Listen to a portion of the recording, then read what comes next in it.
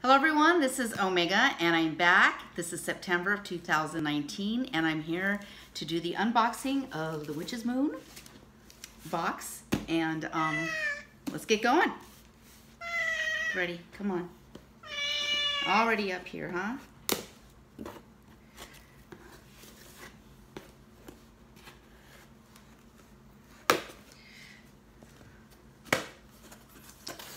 Okay. I do have the August, I don't know if it was from Sugar Muses or The Witch's Moon, but I didn't do the August. I had surgery recently, so um, I kind of took some time off. I'm all better now. No worries. Here we go. Hey, Freddie.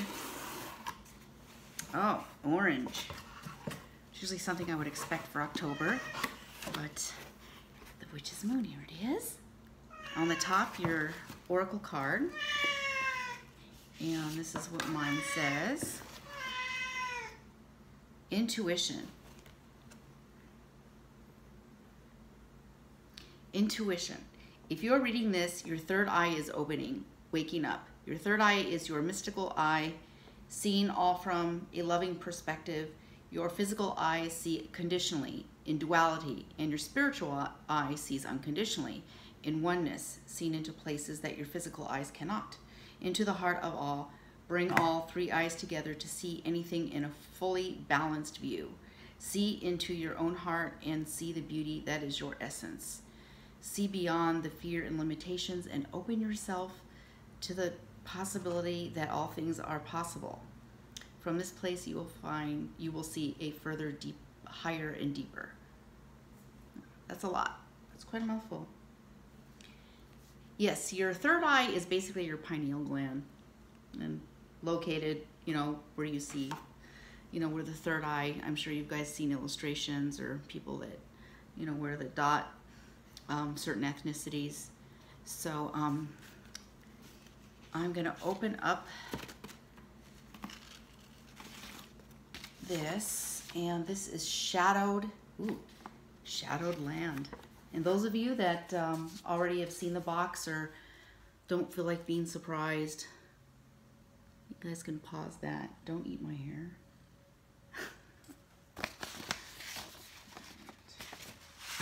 Don't eat my hair. What's wrong with you? Here's the second part of it.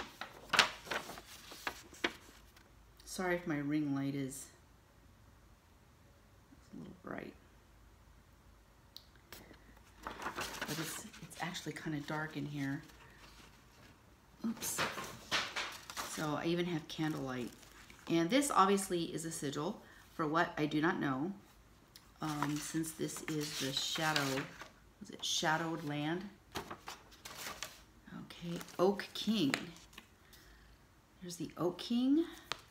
A, these are smaller drawings than usual but that's fine. You know what? I'm to move this ring light back a little. It's so bright. It's so bright. Maybe I should turn it down. Because it's everything shining. Turn it off? No, that won't do. I'll just turn down the intensity. Okay. Maybe that's a little better. Still shine there. There we go. So those are Holly King and Oak King. Both good looking men. Okay. And there we go.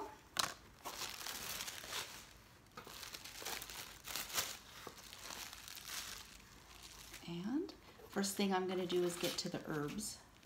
And this looks like a muslin bag, so we must have um, some tea in here, which it looks like we do. Um, Harvest Sunset. And I'll go through the ingredients and everything. Um, and this is red clover. And this is orange peel. You could um, save your own orange peel. I've done that before where Hey, Freddie, I need somewhere to put this. You're on my lap. Okay, so I'll read about the herbs. Oh, first the Oak King Book of Shadows artwork. That was this dude right here. Um, hand-drawn and decorated Book of Shadows page. Um, as stated within the wisdom that is portrayed, the Oak King is a personification of the waxing year, a time of renewal and regrowth. As the spirit of the sun, he represents the return of light and the victory over the somber winter. We're actually in the last half of the year, at least in the upper hemisphere. He inspires us to live fully and enjoy the gifts, great and small. Holly King. Okay, maybe that's where the Holly King comes in. Um, the evergreen Holly King is the personification of the waning year. As the divine spirit of transformation, he represents the natural cycles of change in the forms of darkness, death, and decay. Change is an integral component of new growth and personal improvement. The Holly King acts as a tutelary. I'm gonna have to look this up. I'm usually pretty good at my vocabulary. Tutelary guide hmm, through the shadow lands of our own fears and despair. All right. So I guess this could probably, you know, this is both hemispheres basically because um, the southern hemisphere is, you know, we're in our fall. They're we're going towards fall. They're probably they're going towards spring. So that was interesting. Okay, looks like we have some kind of rock or crystal here. I'm glad you're mellow today. Hmm?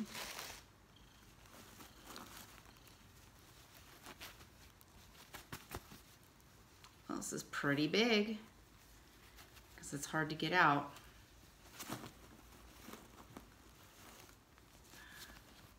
Ooh. Nice. That's substantial.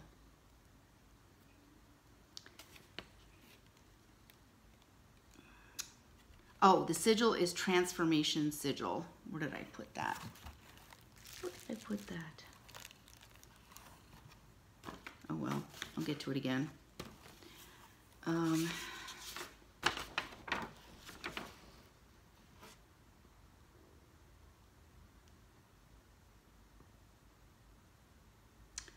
uh, da, da, da, honey calcite. A very grounded stone. Honey calcite brings an abundance of benefits to one's rituals and meditations. A stone of clarity and insight. Beautiful earthly stone is a great assistant while working on divination and shadow work rituals. As you sit with your grounded energy of the honey calcite, allow your focus to easily pinpoint the direction of your needed intentional settings. And there's an affirmation in there. I won't I won't go into detail, but nice big chunk there. I like that. I like it a lot. Uh, the orange peel, since I'm here, uh, it's a wonderful divination and prosperity ingredient Orange peel has been used in many of our practices to help us in contacting our guides and opening up the roads of love and luck on our path. As you place the orange peel amidst your love sachet mixtures, allow its energies and magnetic force to aid you in introducing self-loving energies into your healing transformations. Orange peel.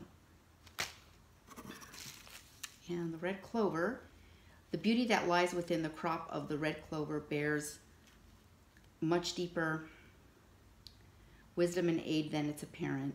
Known for its pain relieving attributes, this helpful herb is a great companion while working to unload hurtful and damaging energetic experiences. Mixed among tea blends and mojo bags, or mojo as some people say, allow this emotional healer to accompany you on your travels through the upcoming reflective time of the year. Okay. Next. Okay, here's the bag that it came in. And let's see if I can go through the obvious first. This looks like it might be the oil. I Got scissors here, so I'm gonna have to struggle. much faster than before.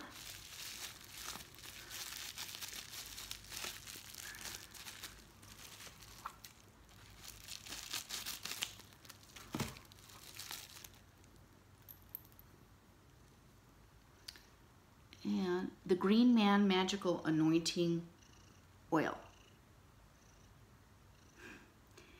The intention is inducing positive changes upon the wearer the Green Man Magical Anointing Oil is a true tool to bring honesty and truth into your daily realm. Yada yada yada. Um, it been it's we have enchanted this magical oil with cedar and Lemurian quartz, clove oils, willow bark, oak bark, cedar wood. Um, yeah. Okay. Willow bark actually um, believe that was how they discovered aspirin.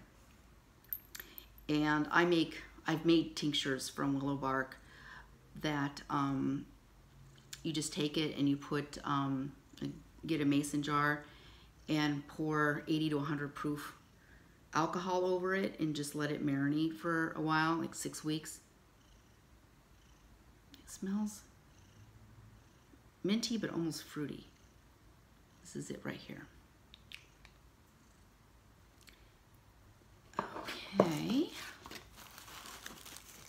And this is. It's like an orange candle. Is it orange? Yeah, it looks like it's orange.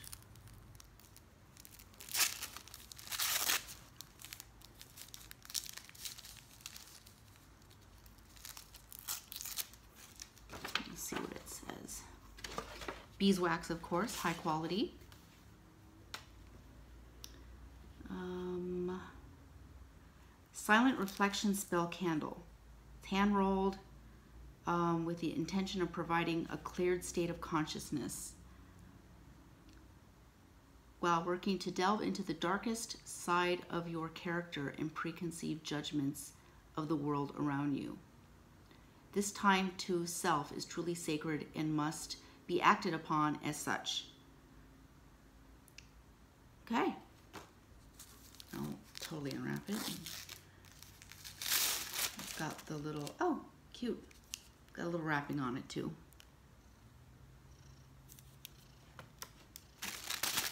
Okay, what's next? Something looks big in here. Huh. I'm gonna go for, where's the salt? Sacred salt. I thought I saw that in the description. Okay, here's the sacred salt. I'm getting really excited about this. The renewal. Sacred salt. Guess on on the second page. As with many clearing and cleansing rituals, the act of washing or bathing ourselves is sacred practice. The intention in assisting you in your visualization process of washing away stagnant and unwanted energies from your aura as you sit with the earthly ingredients of the sacred salt, allow your mind to get let go of all the thoughts and preconceived perspectives. Awesome. And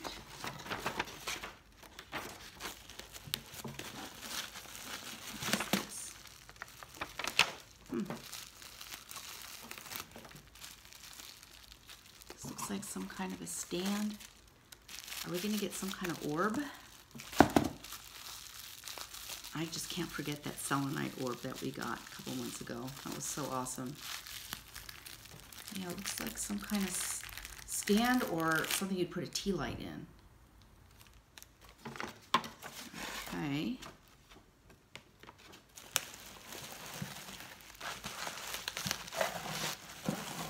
There's any incense in here. Yes incense. I always appreciate the incense. And it does kind of smells like clove a little bit. Um,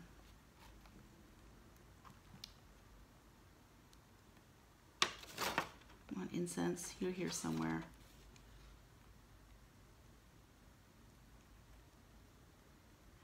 Warmth of Seasons incense sticks.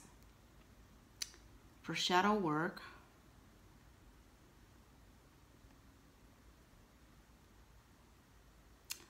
to comfort you, warmth and comfort to your surroundings, and during times of meditation and shadow work as you allow the smoke to drift through your sacred aura or area, allows protective energy to communicate with your aura.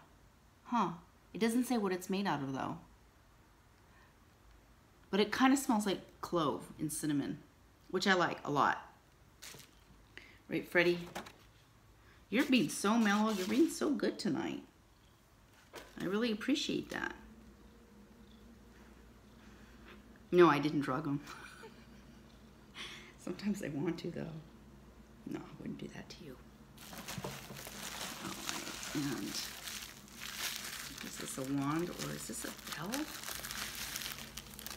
is this? Is it a candle snuffer? Snuff, snuffer?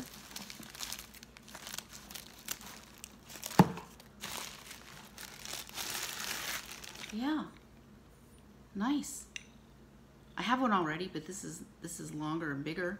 Very nice. Can't have enough of these, right? And I have candles all over the damn place.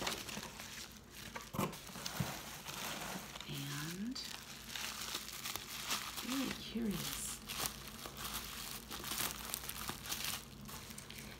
These scissors are coming in handy.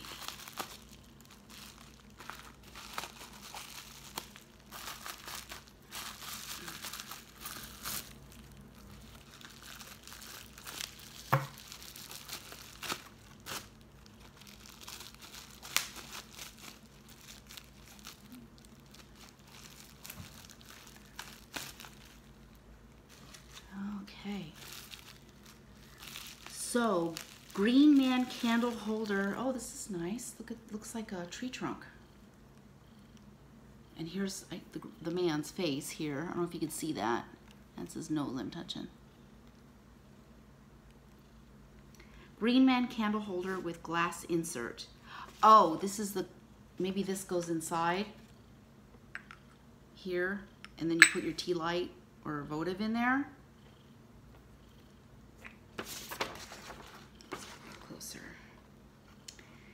The deep and resonating meaning of the Green Man holds such prominence within our beliefs. The view of, I'm trying to, maybe I do need more light. I'm gonna see if I can turn it up now that I don't have anything that's reflecting. Maybe that's, okay, that's better. The only thing that really was shining was the artwork. That was annoying. Okay. Um, it is so easy in the modern age to forget that nature is the true and beholden provider of life, full of free-flowing and guided energy. As we pay homage to our roots, both physical and spiritual, we connect. We understand the true messages and teaching that this brings to our craft and truly resonate with the wisdom that it bears as each season passes. Among the many interpretations of the Green Man shifting and changing throughout each coming year, we comply as with the natural cycle of life in the witch's calendar. We truly absorb the practice of birth, growth, death, renewal to become enlightened and step within our true light. We must follow these phases. It is clear that stagnation is a promoted state of existence in a land filled with distractions and energy filters. It is truly necessary to practice the rituals relating to each step of the natural wheel. This beautiful green man candle holder with glass insert was placed within the collection so that you may have a prominent symbol placed upon your altar or ritual space. This green man reminds us that we must always look within ourselves, relating our experiences with the natural earth that surrounds us. And at the coming time of year, we celebrate the bounty that has been reaped from our phases of growth in abundance, blessed by the guidance of ancient wisdom as we step into the thinning veil in divination practices. We take full advantage of the time we have been given to work towards. This is long, huge paragraph. You get it. Green Man and it has the snuffer here very nice so I, I guess this is it for the witch's moon of September um, you know it's very nice but I, I I don't know maybe I've been spoiled with the other witch's moon boxes it just seemed that it's almost like a repeat of last month to me because we got something that looked like the green man that sage thing, you know, the one that looked like, you know, the one I wanted to light on fire. Um, I don't know. So it's just, um, I don't know, it just seemed like it was too close together. But this is very nice. you know, I can obviously find a place for this. So this is what we get. Um, the sigil, what was the sigil? We have created the sigil for the very intention of promoting a transformative lifestyle. As you meditate or recreate the sigil, allow the unconscious guidance of this energy knowing push you towards change. Okay, so here's the sigil. This is what you get. I'm just going to go through it very quickly. Uh, the Holly King for the waning year. Oak King for the waxing. So that makes sense. It's a younger dude for the first part of the year, and then the old dude. I don't know which dude I like better. I think I like the young dude. yeah, it's a little bit too much on the beard for me. He's he's cute. I don't know, maybe I'm somewhere in the middle. I don't know. Um, the honey calcite and the herbs um, red clover and orange peel. The spell candle, the oil, anointing oil, the sacred salt, and the incense, and the tea. Oh, let me, what was the tea? Harvest Sunset.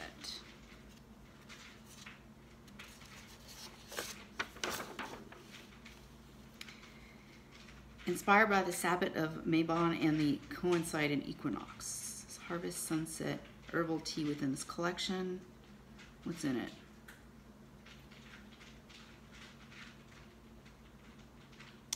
Uh, was created with lemon peels, orange peels, and rose hips.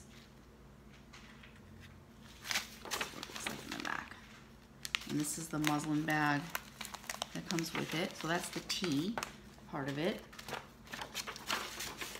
And of course you get your parchment paper, which has fallen down. Um, this is the incense. And this is the tea, or the tea light holder, candle holder with the snuffer. And I guess that's it. That's the Witch's Moon for September 2019. Thanks for you guys for joining me here tonight. Um, I really appreciate your your loyalty and subscribing to my channel. If you like this video, please give it a thumbs up and subscribe. Um, I have Sugar Muses coming very soon, so uh, that will be my next my next unboxing. Oh, also your um, tarot card or oracle card, excuse me. So that's coming up. Um, what else? The Witch's Roots. I know the, the Sugar Muses one is coming because I got a notification and it's on its way. So um, probably within a few days I'll have that done. And I will get in, I apologize for the August, um, I think it was the Midnight Muses. That's what I think it is. And I for I I just didn't have the energy to do it and um but I'll I'll go ahead and it was actually really good. So um anyways, I'm signing off. This is Omega and I will see you next time. And hey Freddie. I will see you next time. Thank you for being loyal and I will see you in a few days. Bye.